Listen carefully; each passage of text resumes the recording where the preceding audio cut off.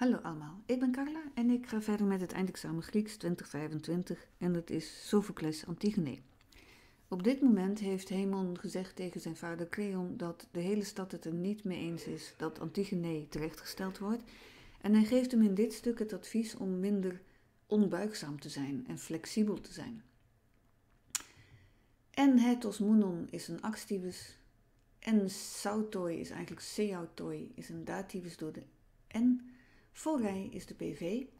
En dan deze zin, die is in mijn boek tenminste helemaal voorvertaald, omdat die, ja, als je daar probeert op deze manier heel letterlijk, een, uh, letterlijk te vertalen, dan wordt het echt heel onduidelijk.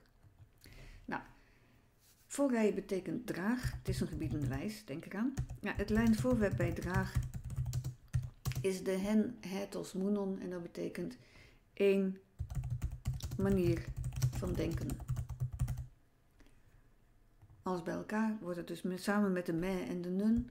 Uh, draag toch niet. Een beetje ongeduldig, uh, die me nun, een beetje ongeduldig. Draag toch niet één manier van denken in jezelf, die ze jou toch moeten ook nog hebben.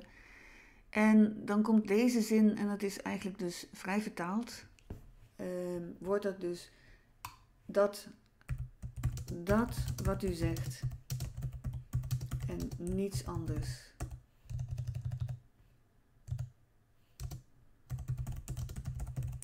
Juist is. Dus hij denkt dat hij, de dat hij altijd het bij eind heeft. Nou, dat is geen gezonde manier van denken. Um, daar gaat uh, Haimon dus ook op in. Hostis is een nominativus. Autos is een nominativus. Vronna een inventivus. Is een nominativus. En dokai is een PV.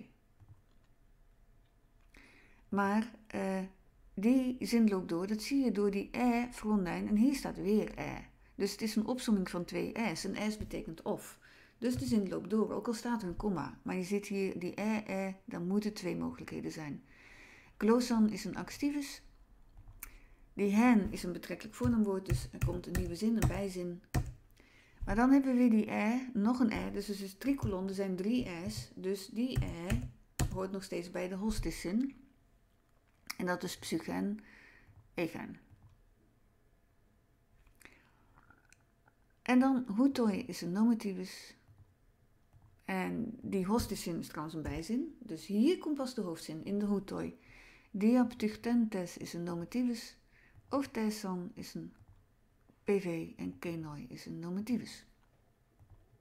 Nou, die en is een activus en die allos is een nominativus. denk eraan, um, dit wordt even lastig. Even deze zo en dan denk eraan dat deze e psychen bij die hostiszin hoort, door die drie keer e. En dan is drie keer of, drie mogelijkheden. Dus hostis betekent degene die. Uh, doké, meent. Zelf.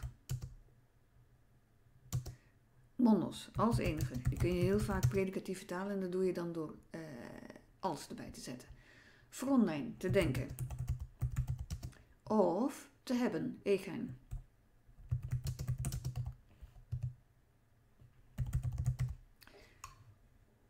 Nou, bij het lijn voor bij hebben, daar heb ik natuurlijk een lijn voor nodig, is die glosan of psychen. Dus een taal of een geest. Als je dat dan bij elkaar doet, krijg je, want die gar moeten we natuurlijk nog hebben, degene die meent. Zelf die meent. Zelf als enige te denken. De rest kan niet denken. Die zijn ons dom, zegt hij. Of een taal of een geest te hebben. Nou, hen ook alles. En een geest, dan denkt hij, alles is, alles is ander. Een ander, en dan moet je het werkwoord heeft bij denken. Heeft. En het lijn voor bij heeft is het betrekkelijk voornaamwoord die. En daar moet je dus mee beginnen. Het is een betrekkelijk voornaamwoord, dus het moet een bijzin worden. Die begint met die. Dus de geest. Soms helpt het om het antecedent erbij te zetten. De geest die een andere niet heeft. Nou, die mensen, nou komt de hoofdzin, hutoi diaptuchtentos orteson kenoi. Die, en dan heb je hier de, de aoristus of thesan, maar je moet hem als een presens vertalen omdat het een algemene waarheid is. Dus je kunt het hier als een presens vertalen, maar dat staat altijd wel in de aantekeningen. Dus die worden gezien diaptuchtentos, opengevouwen zijnde, als leeg, leeghoofdig. Er zit dus niks in. Hoofdig.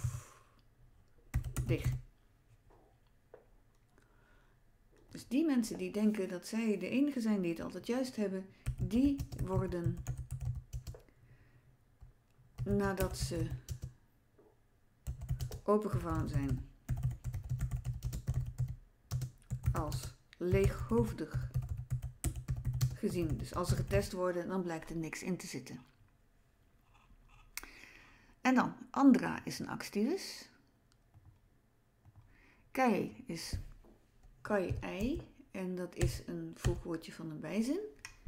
Tis is een nominativus. Ei is een pv van eimi. Sophos is een nominativus. En de andere zin loopt door, want ik had daar verder nog helemaal niks, alleen maar al andra. Tomantenijn hoort daar dus bij. En de zin loopt door. En ja, moment, Pol is een activus. En dan aischron uden is een nominativus.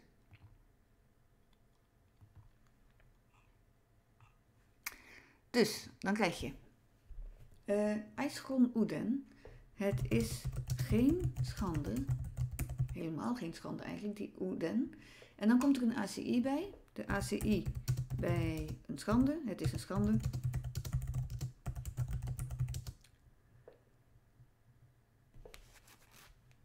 En daar, eh, die ACI daarbij is dus de andra mantermijn. Dat een man leert.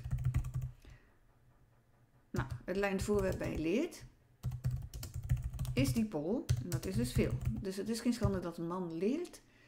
En er is nog een ACI, tweede ACI, is uh, dat hij, dat een man, en dan Tijnen Agaan vrij vertaald onbuigzaam is.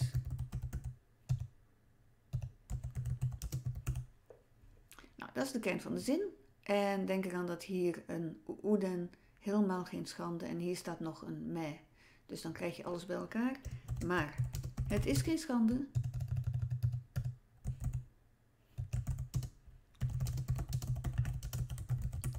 Dat een man veel leert en dat hij niet onbuigzaam is. Niet uh, agaan zeer onbuigzaam is.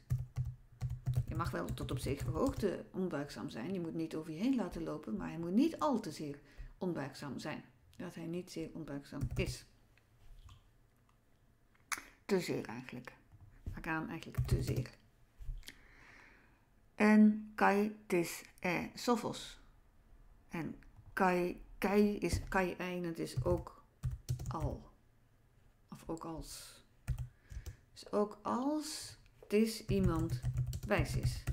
Dus ook een wijze man heeft het wel eens mis ook als iemand wijs is. Niet vaak, maar wel eens. Nou, volgende zinnetje. Horais is een PV. Zal dus wel een hoofdzin worden. Para reitoisi gemaroisi. Para en dativus door de para. Hoza is een voegwoordje van een bijzin. En hoza is hier een nominativus en natuurlijk is er een jabbement, want anders zou dat zinnetje uit één zin bestaan, uit woord bestaan. Dat kan natuurlijk niet. Dendron is een genitivus. Huub is een PV. En dan Clonas Hoos Exoidetai. Die hoos moet eigenlijk voorop staan. Dus dit is een uh, bijzin. Clonas is een activus. Exoidetai PV. En tade is een vervolg op de Clonas hoofdzin. Dus hier hoort die hoos weer bij gedacht. Moet je weer bij denken. Ta is een nominativus. Antitainonta is een nominativus. Autotremna is een nominativus. En apolutai is een PV. Nou, horais, je ziet. Denk aan de tweede persoon ineens. En dan ja, heb ik verder eigenlijk het lijnvoorwerp nodig. En het lijnvoorwerp bij je ziet is de Hossa-zin. Um, even Grieks. Hossa. Zin.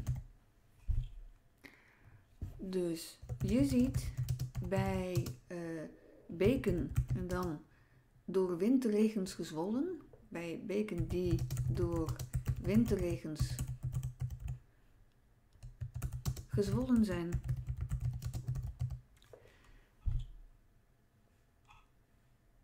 En dan Hoza. Um, al wat, letterlijk, al wat van bomen meegeven. Dus al wie, al wat, uh, de bomen die, al degene die. Zo is misschien handiger. Er zit dat al in. Dus al degene van de bomen die meegeven. Die, die hosa is een lastig woordje. Dus die moet je eigenlijk vertalen met alles wat, al degene die, al degene van de bomen die meegeven. Dus het is eigenlijk een betrekkelijk woordje ho, hos, maar dan zit dat het idee van alles in. Al degene van de bomen die meegeven. Nou, dus dan, je ziet bij beken die door winterregens gezwollen zijn. En dan krijg je eigenlijk die dat-zin, maar eerst even al degene van de bomen, van bomen die meegeven. Als je het zo doet, eigenlijk zouden wij liever eerst die dat hebben, dat al degene, van de bomen die meegeven, maar oké. En dan die dat, hoos is dat, je ziet dat. Exoizetai is zij redden. En het lijnvoer bij redden is hun takken. Dus dat. Je ziet bij beken die door windregens verzollen zijn, dat al degene van de bomen die meegeven, al die bomen, doe ik even heel kort, uh, dat zij, zo kun je dat dan opvatten, dat zij, en dat zijn dus eigenlijk al die bomen van de vorige zin, hun takken redden. Dat al, is altijd een lastig dingetje om netjes in elkaar te draaien. Maar die de is hier echt duidelijk maar. En dan moet je weer die dat erbij denken, want het is een vervolg. Maar uh, verbindt twee gelijkwaardige zinnen. Dus dit is een dat-zin, dus dit ook. Maar dat, en dan krijg je uh, ta antitainont, zij die zich verzetten. Zij die zich verzetten, appelutai, gaan verloren. En autoprem betekent met wortel en al. Nou, verder staat er niks bij, dus dat kun je zo overnemen. Maar dat zij, de bomen die zich verzetten, met wortel en al. Verloren gaan.